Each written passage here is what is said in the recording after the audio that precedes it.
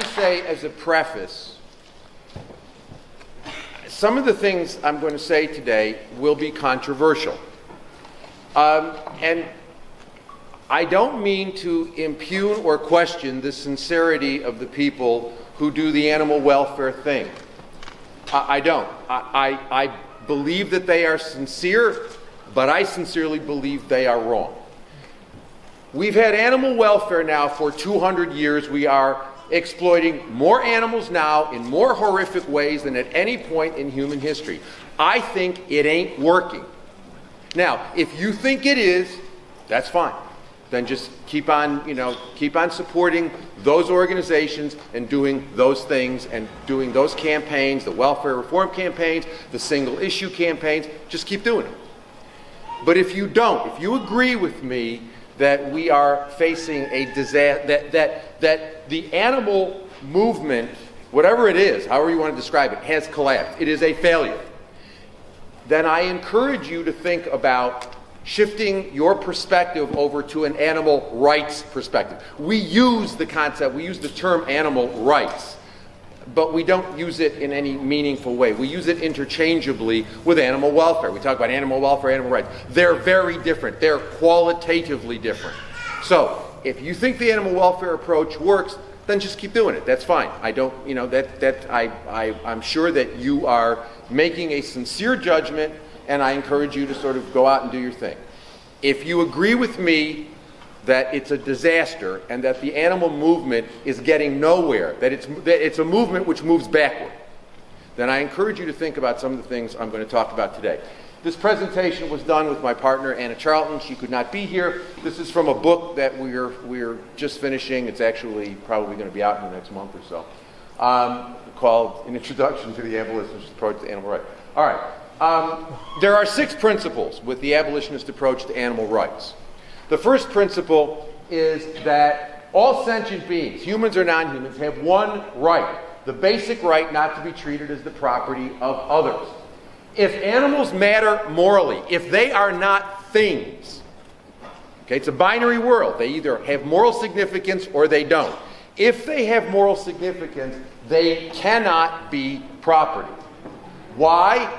Because to be property means to be something that has no intrinsic or inherent value. Okay? It is to be something that has only extrinsic or external value. It is to be a thing. It is to be a something, not a someone. Now, we recognize this in the human context. We can debate various forms of discrimination as to whether they can be justified or not. But we all agree, indeed, one of the few principles of customary international law, of, there are only a few principles that are accepted by all nations. Okay? One of those principles is that human slavery is wrong. Why is human slavery qualitatively different from other forms of exploitation? Because if you are a slave, you're not in the moral community at all. You're completely outside the moral community. Someone else, your owner, has the ability to value you and may value all of your interests and your life at zero. Okay? You have no value except that which is accorded to you. Your valuation of yourself is simply not respected. You are a thing, you are not a person. This is why everybody recognizes slavery is wrong. That doesn't mean to say that slavery doesn't exist, it still does. Unfortunately, it still does. But nobody defends it. When they find, you know, when, when some story comes out about, about slavery, that slavery's been discovered someplace, nobody jumps to the defense of slavery and says, well, you know, this is really not a bad thing. As they do other forms of discrimination, people debate other forms of discrimination as to whether or not, you know, certain, certain benefits should be given to people or whether certain benefits have to be given to people in order for them to be equal, etc. People debate those things. Nobody debates the morality of slavery. Everybody recognizes it as a a violation of the fundamental right of a person to be a person because if a human is a slave, then the human cannot be a person, the person, the human is a thing. there can be no balance. We can't, you know, we can't balance the interests of property and non-property because you know one of the things that animal welfare seeks to do is to balance the interests of humans and non-humans. You can't balance the interests of, uh, I mean, you can't balance the interests of property and property owners. Property owners always win. There were all sorts of laws that protected slaves when we had race-based slavery, which, which existed in the in the in in, in the the, um, the the British Commonwealth. It certainly existed in the United States, and so we had laws that protected slaves did the laws work? No, because they involved situations in which there were conflicts between slave owners and slaves. If you're going to have a system of slave slavery, slave owners have to win. Slaves can't win, or else you don't have slavery. Okay? So there can be no balance of interest when you're talking about slaves. The slave always loses. All humans have the right, are considered to have the pre-legal moral right not to be slaves, irrespective of their personal characteristics. So it's not something we give to only smart people or to beautiful people or to talented people. It's a it's you have it by virtue of the fact that you are a person. We might have issues at the margins. For example, what if somebody is irreversibly comatose? Um, you know, is is you know, can we use that person as a, as a resource to take organs out of. Well, you know, I mean, what have they said before they got into the, the, the comatose state, etc. But, but basically, we regard all sentient beings, all beings, and sentience is not a complicated concept. It just means you're subjectively aware. You're perceptually aware, you're subjectively aware. All sentient beings, all sentient humans, are considered to have the right not to be a chattel, not to be used exclusively as resources for others. Okay, y'all following this so far? Is there anybody have, you know, you're all all right? Is it clear? Is it clear? All right, good. All right. Animals are property. They have no value except as commodities. Now, you're probably saying, but wait a minute. We have pets. I love my dog. I love my cat, blah, blah, blah. And the answer is yes, they're your property. You can love them if you wish because they're your property and you get to decide how to value their interests.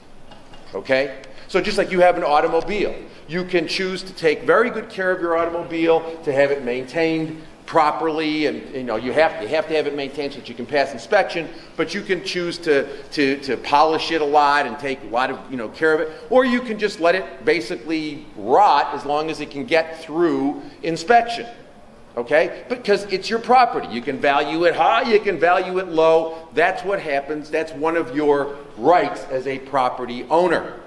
Same thing with your dogs and your cats, or your birds, or whatever you have.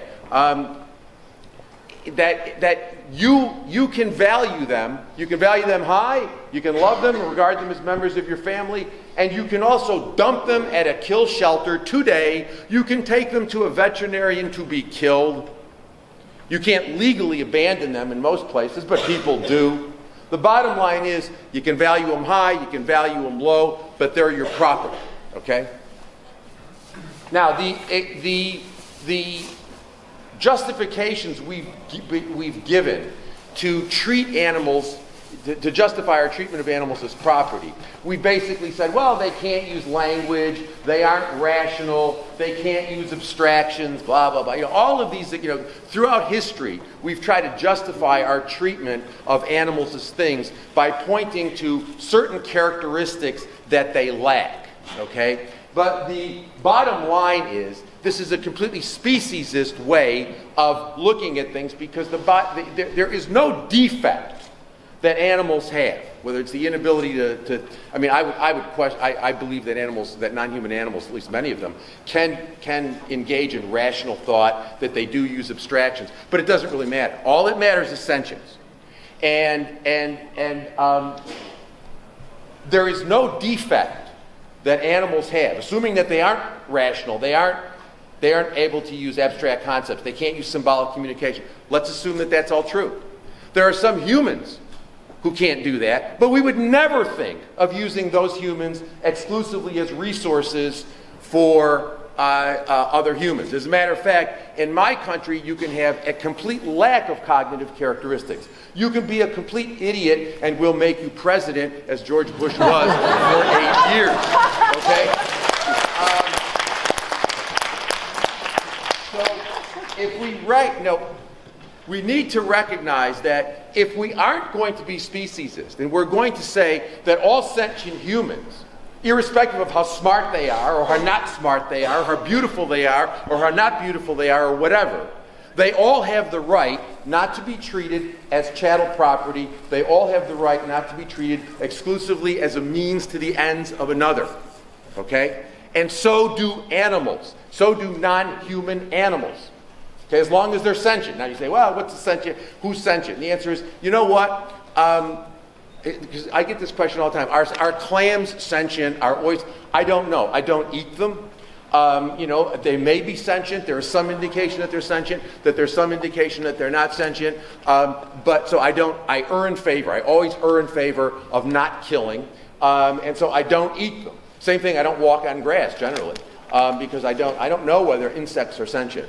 Um, my guess is many are probably not. I don't know. I just, I simply don't know. And so I err in favor of not, um, I, I, don't want to kill them. And when I live in a, a rural, um, I no longer live in New York City, and I, um, I live in a more rural environment. And there are all sorts of, of there are spiders that have a lot of hair and, and, and, and snakes, and we have all sorts of interesting things, and, and all sorts of, of insects. And, you know, I catch, I've, I've overcome my fear of them, and I now catch them in little glasses and things, and I put them outside, um, unless they're too big, and I just leave them alone. But, um, but, but, you know, so, so, but as long as, if, if an animal is sentient, then if we are not going to be speciesist, then we have to recognize that that sentient non human has the fundamental right that all sentient humans have the right not to be treated as property, the right not to be a thing, the right not to be treated exclusively as a resource, exclusively as a means to the ends of others.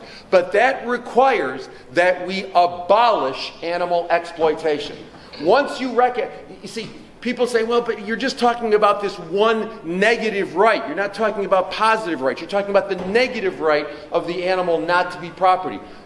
That's right. That's exactly what I'm talking about. I'm not talking about positive rights. I'm talking about the one, I'm talking about a negative right that all sentient beings have the one negative right not to be treated exclusively as means to the ends of others. And, and recognition of that one negative right requires that we abolish animal exploitation. We simply cannot justify institutionalized exploitation of animals. Now, what about domestication? You say, well, you know, does that mean that we have to end domestication? The answer is yes, that's exactly what it means. It means domestication is a violation of the fundamental right of animals not to be treated as things. And you say, well, but doesn't that, isn't that going to mean that we won't have dogs and cats and companion animals? Yes. We, we live with six rescued, abused animals, canines um, dogs, and and um, w- which is one of the reasons why we no longer live in New York City. And um, and I don't think that you'll find anybody on the planet who enjoys interacting with dogs as much as Anna and I do. And if there were two dogs left on the face of the earth, and the issue was whether or not we should have them breed so we could continue to have pet ownership, the answer is not on your life. Domestication is wrong. It should be abolished. If we recognize the fundamental principle of animals not to be treated as things, it means we don't eat them, we don't wear them, we don't use them, we stop bringing them into existence as things that we exploit. The only animals who exist are the ones that exist in, in the wild, and we leave them alone. Okay? So that's what that's the first principle of the approach that I promote. Principle 2. Because principle 1 concludes with that we should abolish animal exploitation, principle 2 is we shouldn't be promoting. If we if we agree with principle 1, if we agree that if animals matter morally, then we, we, we can't treat them as property. We have to abolish their status as property. If we agree with that, we should stop supporting animal welfare campaigns and single issue campaigns. Okay? By the way, Tim, how long do I have? I mean, 50 minutes. okay, very good. Okay. 50 minutes total or 50 minutes from now? He's going to check the schedule. Goes in the hall back. Oh my God. Okay. All right. Okay. All right. All right. The abolitionist approach. Okay. All right. Why does the why? And I'm gonna I'm gonna be giving a separate talk uh, later on, sometime today, on on the on the problem with the animal welfare approach, and I'm going to be more detailed about it. But let me just say, there are six reasons why I think animal welfare reform and single issue campaigns are a very bad idea. The first one is I reject the idea, and if you are an abolitionist, you should reject the idea that the fundamental principle of the animal welfare position is that animals don't have an interest in continuing to live. We bifurcate their interests. We say they have an interest in not suffering, but they don't have an interest in continuing to live because they are not self aware. I'm going to talk about this more in the. Um, I, I was going to talk about it some now, but I don't have time. I will talk about this in detail in the second presentation or whatever number presentation it is today, when I talk about the animal welfare, the problems with animal welfare. But the basis of the animal welfare position, going back to the 19th century and continuing to the work today of Peter Singer. I mean, Singer says the same thing Bentham said, you know, in, in the 18th century. Basically, animals aren't self aware. So we can exploit them as long as we do so, as long as we protect their interests sufficiently. It's all right for us to use them. The issue is not use, the issue is treatment. Um, and and the, the approach that I promote rejects that. Um, you know, the idea that they don't care that we kill and use them, that we, we use and kill them. Um, they care about how we treat them. That's the fundamental premise of the a welfarist position. However, it manifests itself, all there are different welfarist positions. All of them share in common that fundamental premise. It's wrong, in my judgment. Um, welfare reform campaigns and single issue campaigns necessarily promote animal exploitation. Now, every time I say this all the time, and every time I say it, I get um, horribly insulting emails and private messages on the Facebook page from people who disagree with it, and I'm not sure they understand it. Um, let me explain what I mean. Animal welfare campaigns and single issue campaigns. Let me give you an example of animal welfare campaign. An animal welfare campaign is promoting the enriched cage that is now the legal standard in the European community, right? I mean, the, the enriched cage, you get rid of the conventional battery cage and you adopt what you call the enriched cage, which is that's, that campaign was the campaign for animal welfare reform. It is supposedly making animal exploitation more humane, okay? An example of a single issue campaign is a campaign against foie gras you know, uh, uh, which is a, a, very popular campaign in Britain right now, which is why I'm using it as an example. This idea that we ought to target foie gras as, as you know, we, ought to, we ought to promote the idea that people should not be eating foie gras. That's a single issue campaign. Why are these things problematic? They're problematic because they both, welfare campaigns, single issue campaigns, require coalitions. Think about it. In order to have a campaign for the enriched cage, you may have people in that coalition who are vegans, but you're going to have people who eat eggs and who just think that, you know, it would be better if we got the eggs. I'd feel better. I'd feel less guilty if I ate eggs that were from an animal that, came, that was raised in an enriched cage. So these welfare campaigns necessarily involve coalitions where you've got people who are, who are animal exploiters and who intend to continue exploiting animals, and you may have some people in that coalition who don't exploit animals and don't think animal exploitation is okay, but you have this coalition. And the only way that coalition holds together is if the people who are going to continue to eat eggs and the people who think there's nothing wrong inherently with eating eggs think that adopting or supporting the enriched cage means that we're going to have a, a morally better situation. That it is a morally, it's a normatively, morally better thing to eat eggs from enriched cages, and that it is a good thing. So it's it promotes it promotes the idea that we can exploit compassionately. I'm going to talk a, a, lot more about this today, and later on in the afternoon, I will be talking with Tony Wardle from Viva. We'll be debating this issue, and I'm sure that you know Tony will have some interesting things to say and uh, about it because we have a very, very different view of this. But but I see, there's no way these campaigns work. They necessarily involve coalitions where a good chunk of the people in the coalition are people who will who, who believe that animal exploitation is not inherently wrong. And so the only way, I mean, think about it. If you're involved, if you say, hey, I support the campaign for, for you know, enriched caged eggs, you're not going to be part of that coalition if you understand that campaign to, to be saying eating, cage, eating eggs from enriched cages is also morally bad.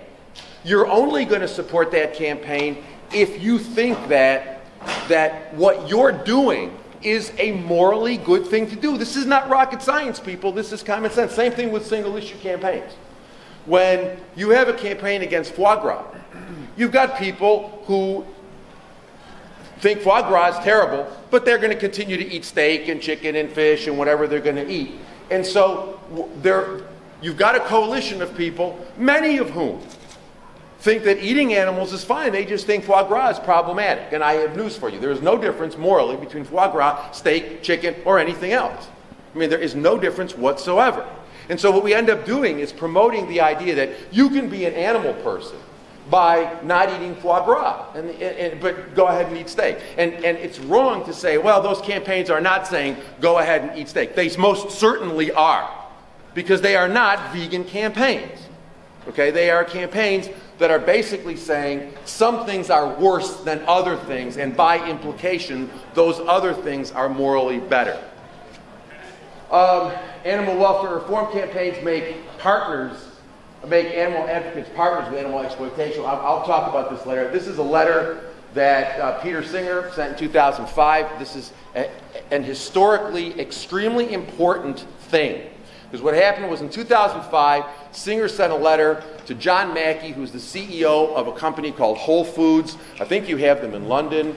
Um, they're a, it's a chain of, of high end supermarkets that sell happy meat and happy eggs and happy cheese and stuff.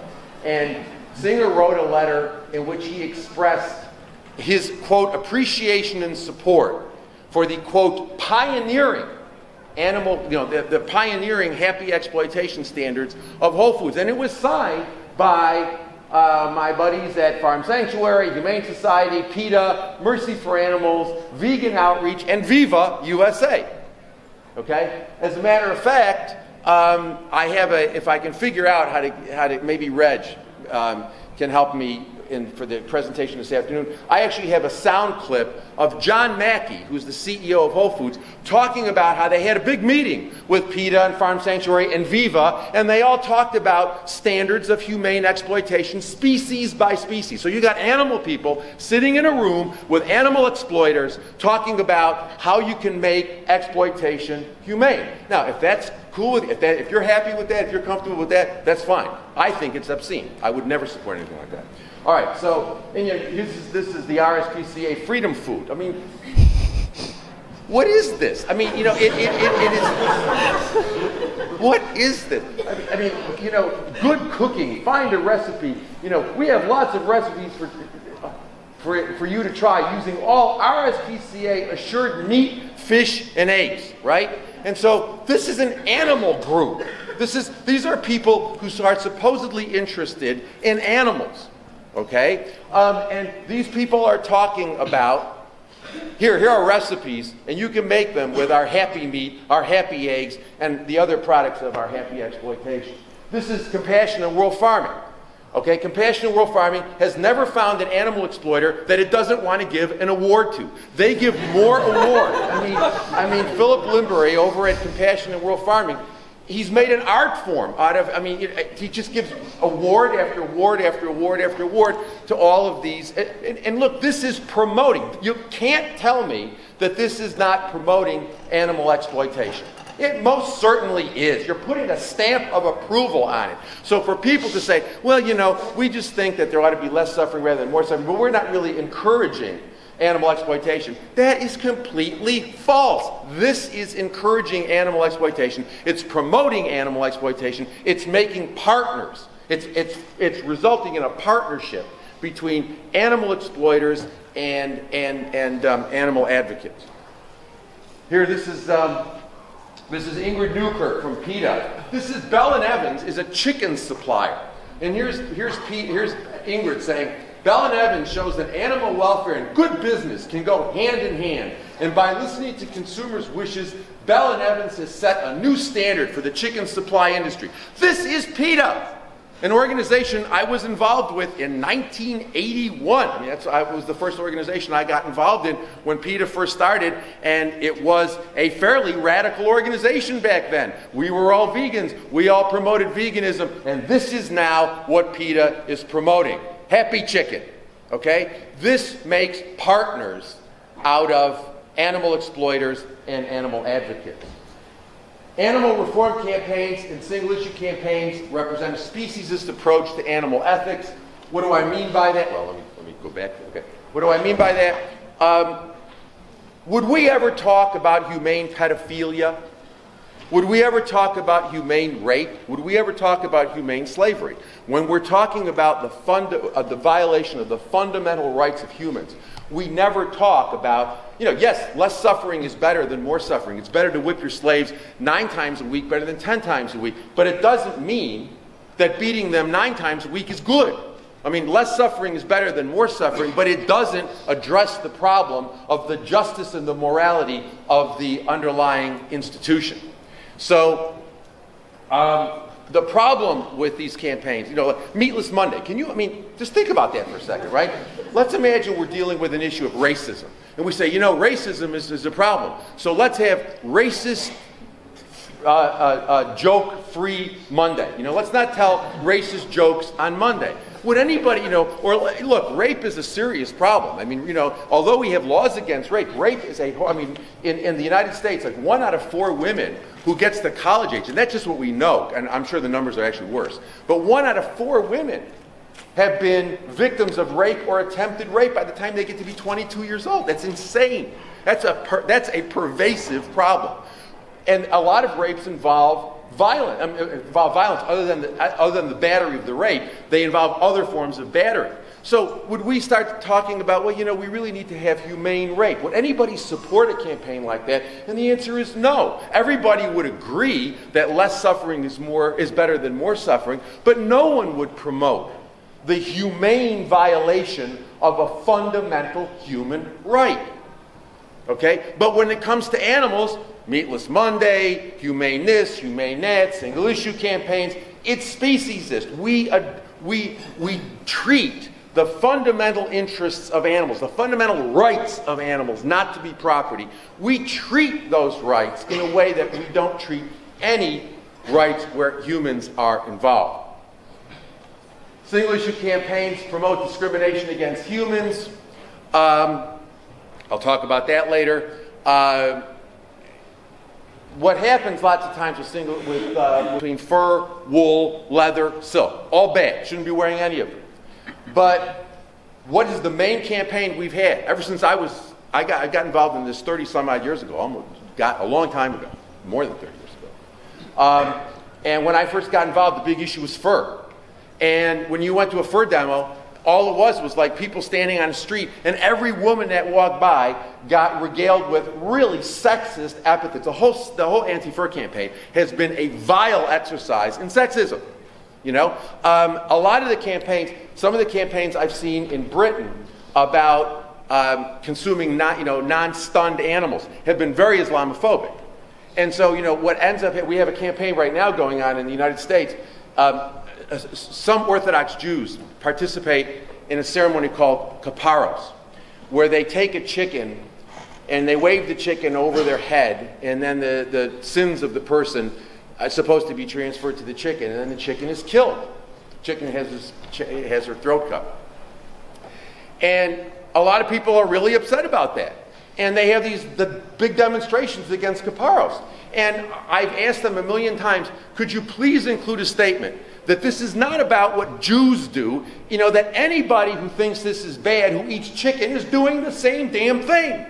So, like, why single out single issue campaigns have a tendency to focus on because what you're trying to do is you're, you're, you're, you're saying, here's our coalition, and we're better than you that because you do this form of exploitation. And what you end up doing is you otherize the other group of people, and the other group of people often involve themselves vulnerable groups, whether they're women, whether they're Muslims, whether they're Jews, whatever. Okay? So, in, in, but again, I'll be talking about that in detail later on.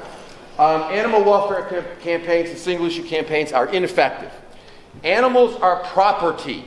They, are, they only have an economic value. The only time we protect their interests is when we get a benefit from doing so. The first book I wrote in 1995 was called Animals, Property, and the Law. And what I argued in that book is if you look at the history of animal welfare law, both in Britain and the United States, what you see is that animal welfare reform has done little more than require that we efficiently exploit animals. That is, animal welfare reform tends to focus on things, on practices that are economically questionable or, you know, or vulnerable and where, they re- where there is an arguable inefficient use of animals. Let me give you an example. The veal crate campaign, okay? we've got, we're, we're, we're largely, particularly in Europe, um, on the way to getting rid of the, the, the veal calf in the tethered crate. Why? Because when you have a veal calf tethered in a crate, that animal will suffer great stress. The great stress, just like you get stressed, you get sick, they get stressed, they get sick, and they need veterinary care. And the whole goal of the veal industry is to keep those calves healthy or healthy enough until you can slaughter them, which is usually at six months of age. So if you take them out of this, this small chute and you put them in a, in a social unit, the veterinary costs go down. So that's an efficient thing to do. The same thing with the campaign, for example, that a number of organizations have to have chickens gassed rather than the way that they're presently killed, which is really horrible. I mean, it's all horrible. I'm, I'm, I'm sort of wondering, how many of you have, have ever been in a slaughterhouse? Yeah, I mean, it's, it's, it's, interesting. A lot of animal people have never, you know, when I, when, whenever I hear pe- animal people talk to me about Temple Grandin and humane slaughterhouses, I always think, are these people on drugs? Because if they, you know, if you've ever been, I mean, I've been about 30 of them at least in my life. Um, I've stopped. I, I, I, mean, first of all, I can't get into them anymore. But secondly, um, but secondly, um, I've seen so much of that. I just don't want any more of that in my brain. But but um, you know, there's no such thing as a good slaughterhouse. They're hideous. All of them are hideous.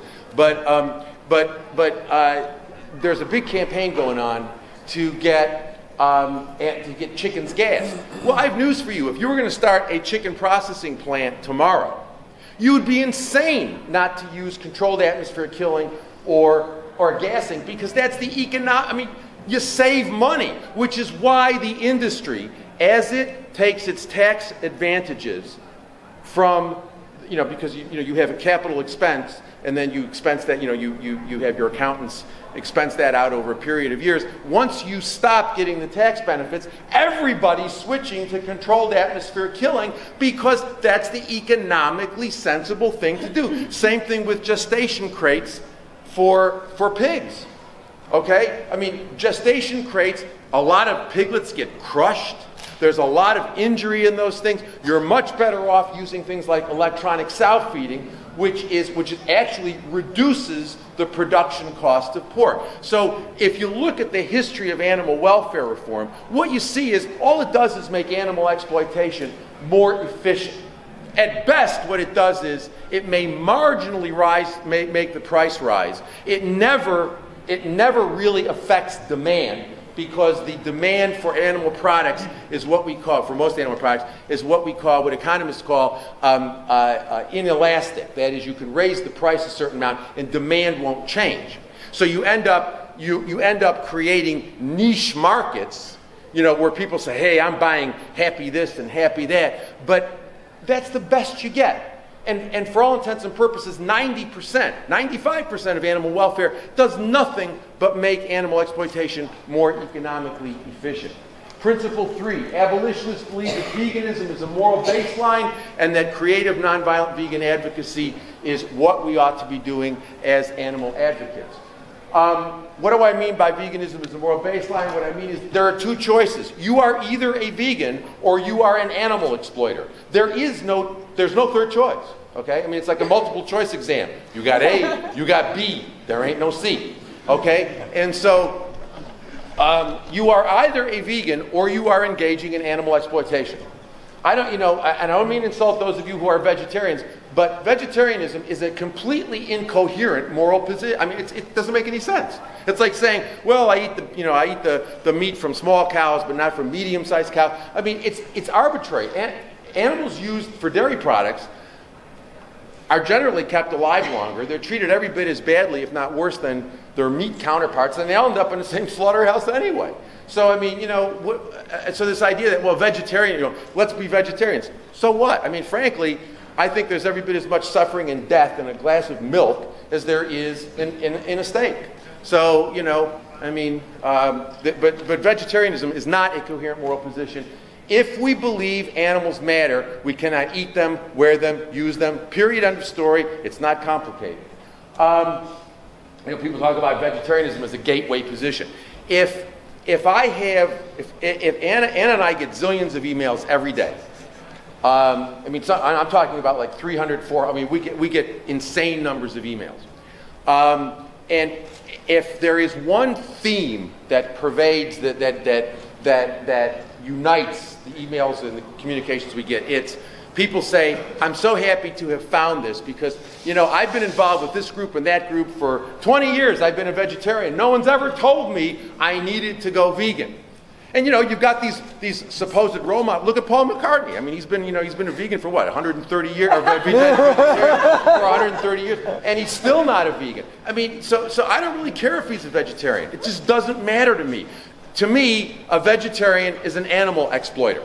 Sorry, sorry, those folks who are vegetarian. Um, but you know, I mean, but that's the reality. You're engaging in the exploitation of animals. Okay, there's no way around that. Um, creative nonviolent vegan advocacy is. I don't think we need all these groups. Frankly, I think, I mean, if this is going to work, you know, the revolution will not be, you know, will not come as a result of charities.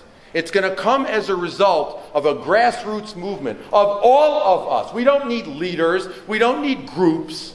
We don't need organizations. We don't need teachers. What we need is we need to get out there and do the work. You don't let you don't write a check and have somebody else do it. You don't donate to somebody else and have that you do it.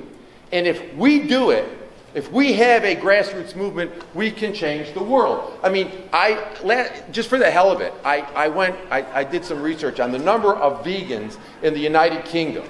The lowest number I could find was 150,000. And I think it's, I, I, think it's higher than that, much higher than that. But I, the lowest number I could find is 150,000. If every one of those 150,000 educated one other person in the coming year, we've got 300. Then we've got 600. Then we've got 1.2 million. Then we've got 2.4. And then we've got 4.8. And then we've got, you know, 9.6. And then we've got 19. Point, you know, etc. And in 10 years, we've got 78 million vegans, and there are 63 million people in the United Kingdom. So if every one of us, if every one of us educated one other person, one, in the next year, and then we did that, we'd have a vegan Britain in 10 years. And we could do it. This idea, this idea that, you know, that we need to be telling people because they're too stupid. And I, I, I so much object to that. Um, I hope, I, I'm, I'm hoping to see my friend Ronnie Lee this week. Ronnie's here, isn't he? Yeah. And I'm hoping to see my friend Ronnie Lee because I saw him say something about, you know, well, you know, we can't really talk about veganism to people because, you know, they're just not morally sophisticated enough to understand it. I'm sorry, people. I think that is bullshit, and I do not mean to denigrate bulls. I mean, I really do, I really do think that that is wrong. I think that People understand it. They get it. You know, when I, I, you know what? I don't spend a whole lot of time talking to animal people these days because talking to people who are involved in these animal groups about veganism as a moral baseline is really frustrating because they argue with, I mean, they, they, they get all upset. They want to support foie gras campaigns, they want to support cage-free eggs, crate-free pork, and all this nonsense. That's fine. I talk to regular people. And I start off by saying, how many of y'all got a dog and, or a cat or whatever? And like 90% of the audience, right, saying, okay, fine, you love them, members of the family, blah, blah, blah, blah. And then I say, so why aren't you vegan? And then we have a discussion, which is usually scheduled for an hour, oftentimes goes to three. And, and every time I have one of those, every time Ann and I do one of those things, we will get, out of a group of 100 people, we'll get 10 or 20 people who come up and say, you know what? I never thought about it that way. You know, when I say to them, do you believe it's wrong to inflict unnecessary suffering on animals? And they say, Yeah, I agree with that. And I say, Well, but wouldn't you, wouldn't you agree with me that whatever necessity means, it means you can't justify suffering for reasons of pleasure, amusement, or convenience? Yeah, yeah, I would agree with that. That's simple. Okay, fine. Then why aren't you a vegan? Because you don't need to be to eat animal products to be optimally healthy. And, and, animal agriculture is an ecological disaster. The only justification, the only justification we have for exploiting the billions and billions and billions of animals and the trillions of fish every year is palate pleasure. Palate pleasure and fashion sense because we think we look good in it. And that's it. And that, that can't constitute necessity. And you know what? People are not stupid, they get that. And even if they're not going to go vegan immediately, you've planted the seed and you've made the message clear. And so they're not going to go off and buy cage free eggs or crate free pork or, you know, or steak instead of foie gras, they're, they're going to be thinking about this. They're going to be thinking, you know, and every time we do one of these things, we'll get 10 or 20 people out of a group of 100 saying, hey, you know, I'm thinking about this. And then you get the emails that, that, that come in, that dribble in over the coming weeks saying, you know, I've tried it, and I've tried it. And, I, you know, because we tell people, you can go vegan right away. As a matter of fact, we have a new site called howdoigovegan.com where we try to give people practical information. And we, um, we, you know, we explain to people it's easy to go vegan. There is absolutely no problem with going vegan. It's easy. It's something, you know, I love these people saying, well, you know, how do you learn about nutrition? The answer is you're eating rotting flesh, you're eating cow mucus, and you're talking to me about how am I supposed to learn about nutrition? You know, I, I mean, think about it. It's insane. And, and so, you know, I always tell people two hours, two hours. If you're a slow reader, what you need is two hours, and you can learn everything you need to learn about vegan nutrition. I mean, there's not a whole lot to learn. Um, and, but you know, I will tell people if you really feel you can't do it, then go vegan for a week for breakfast, and then go vegan for a week. You know, you'll see that you don't go blind. You know, you don't, you know, you don't lose your, you know, you don't lose your hearing. You know, then then you go vegan for lunch for a couple, a week or two. Then you go vegan for dinner. Then you're vegan. And and you know, but I always I always preface it by saying but please let me explain to you. If you really think animals matter, every animal product you eat in that six or eight weeks in transition, that's something you got to think about morally because you can't justify that. So, but people get this. You know, I mean, we can do this if we educate ourselves. It's one of the reasons why we wrote, we wrote the book Eat Like You Care. That book was intended for people who care about animals who wanted to think about veganism, but it was primarily intended for vegans who wanted to learn how to educate other people about veganism so that they didn't have to talk about complex philosophical issues or whatever. And so, because this is not rocket science. Most people already believe. Almost everybody you meet, go, you don't believe me, go outside today at some point, not during one of my talks, but go outside, go outside today and just stop people on the street and say, do you think it's wrong to inflict unnecessary suffering on animals? And you know what? You will not get one person who will say, I disagree with that. And that's they already agree with everything they need to agree with to get to the vegan point. All right. Um, the modern animal movement has rejected veganism as a moral baseline. This is from Viva. Change your, you know, what you can do. Change your diet. Go veggie, vegan, or eat less meat. What is that telling people? That's telling people that eating less meat is a morally acceptable thing to do. I think that's wrong. I, I, I, that's not, in my judgment, what we should be telling people. This is animal aid. You know, veggie and vegan. You know, uh, uh, basically, vegetarian. They talk about vegetarian vegetarianism and veganism as equal. I mean, they're not promoting veganism as a moral baseline. Okay, they're saying they're not saying what Viva's saying. Eat less meat. I don't see. I didn't spend a whole lot of time on the site. I don't see Animal Aid seeing, saying eat less meat, but I do see them promoting vegetarianism, and I think that that's problematic. And then people say, well, we can't be judgmental and we can't be purists. I have news for you. If this is a movement for justice and it can't be judgmental, then, you know, to call it, I mean, I mean really, seriously, seriously, this is a movement for social justice. When I hear animal people say, hey, we can't be judgmental, I say, well, then what is this? An exercise in mental masturbation? Because what is going on? I mean, no, seriously, what is going I mean, how, how do you make sense of this? Of course we, I mean, uh, we, we, we, we should not be judgmental in terms of being harsh or violent towards other people.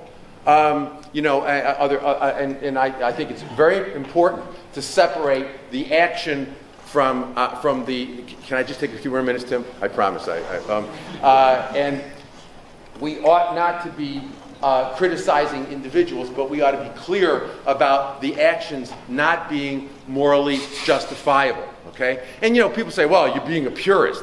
Well, you know, yeah, okay, fine. I'm a purist about rape. I'm a purist about racism. I'm a purist about pedophilia. I mean, what's wrong with saying no, I'm an absolutist when it comes to the exploitation of animals. We, when it comes to the fundamental rights of humans, we have no problem being, quote, purists. Why is it that we all of a sudden start developing those problems when we're talking about non human animals? Again, I think that's an instance of, of uh, speciesism.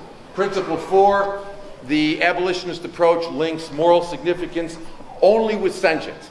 I don't really care whether non human great apes are more like us or elephants are more like us, any more than I care about whether certain people of color are light skinned because they're more like me because the white male is the quintessential measure of value in a racist society.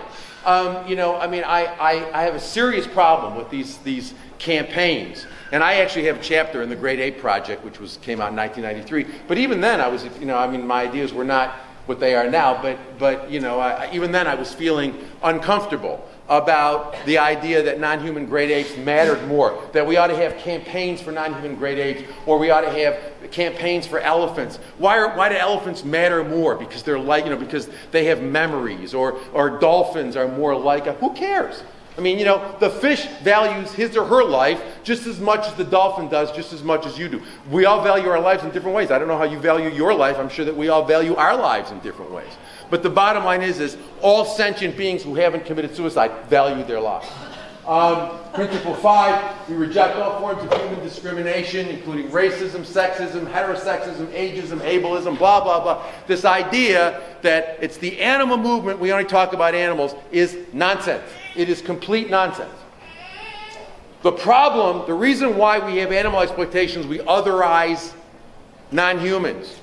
If we reject the otherization of non humans, we are committed to reject. If we say, look, you can't justify the exploitation of non human animals based on speciesism. Well, you can't justify the exclusion of humans from the moral community based on race or sex or sexual orientation or class or ability or anything else. As far as I'm concerned, the animal rights movement is a movement of the left. To say that it is apolitical is, in my judgment, nonsense.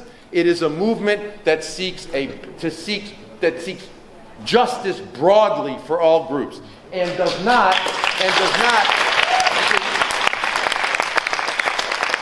there were a number of reasons why I stopped um, donating my, my, I don't practice law anymore, but when I did, I used to do a lot of legal work for, for PETA.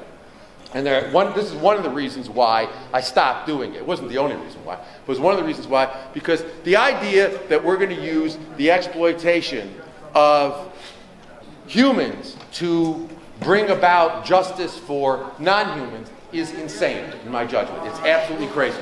So, I mean, you know, the sex, the, the campaigns with PETA have gone from being sexist to being so misogynistic. I mean, I, I, I, they just, I don't even look at them anymore because they're just, they just, I, I'm, I am horrified that anybody would ever associate what I believe with that misogyny, that nonsense, that sexism, that violence. That's really crazy stuff. I mean, this, you know, this, look at this stuff. This is, you think this is helping animals? If you think this is helping animals, then uh, I think you're wrong.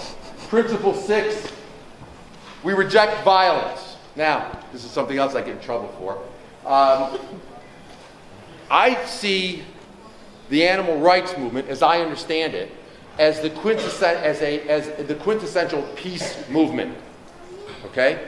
Um, that is, human violence has his, violence of humans against other humans has always sought to be justified by taking the group of humans we want to exploit, analogizing them to animals, and then once they're animals, we can do what we want to with them. It's how we did it with blacks. It's how we did it with Jews. It's how we did it with Armenians. It's how we've done it with every single group we've ever exploited. We've analogized them to animals, and then by analogizing them to animals, we then justify our exploitation of them and our exclusion of them from the moral community. I think that's wrong, and I think that we ought to stand for non. Look, the idea that violence has ever, if, if, violence worked to solve any problems, we'd be living in the Garden of Eden right mm. now because the history of humankind has been a history of violence. Anybody who really thinks that violence is going to get us to justice is, I would suggest, um, someone who should study history a bit, a bit more. Um, there's also, also with animal exploitation, how do you tell who the, I mean, who, who's an animal exploiter? Who's an animal exploiter? I'll tell you a quick story. I'm giving a talk at, at a Canadian university five years, years ago. Woman identifies herself as a member of the Animal Liberation Front. She says to me, um, if a vivisector is using 60 animals, 60 dogs a year for vivisection, do you not believe that it's, that it's okay to use violence against that person? And I said, let me ask you a question. Are you a vegan? Yes. Is your mother a vegan? No. What does your mother eat? My mother eats chicken. Your mother eats ch- chicken a couple times a week? Yes. Your mother's responsible for more than 60 chicken deaths.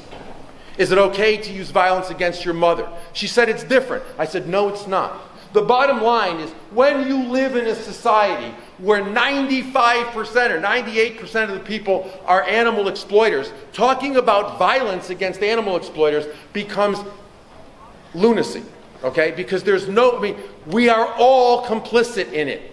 So there's no coherent way to segment off some group of people and say they're animal exploiters and we're not. I mean, those of us who are vegans are not participating directly in animal exploitation. But if you think it's okay to use violence against the vivisector while you're living with somebody who's not a vegan, or your parents are, are not vegans, or your friends are not vegans, and you don't think it's okay to use violence against them, you're not thinking clearly.